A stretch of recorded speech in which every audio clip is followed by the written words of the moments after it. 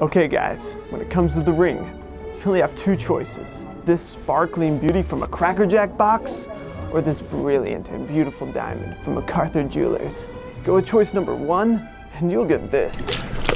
Go with choice number two, this, or this. I think you get the message. McArthur Jewelers, where you'll find a beautiful selection of engagement rings sure to get the results you're looking for.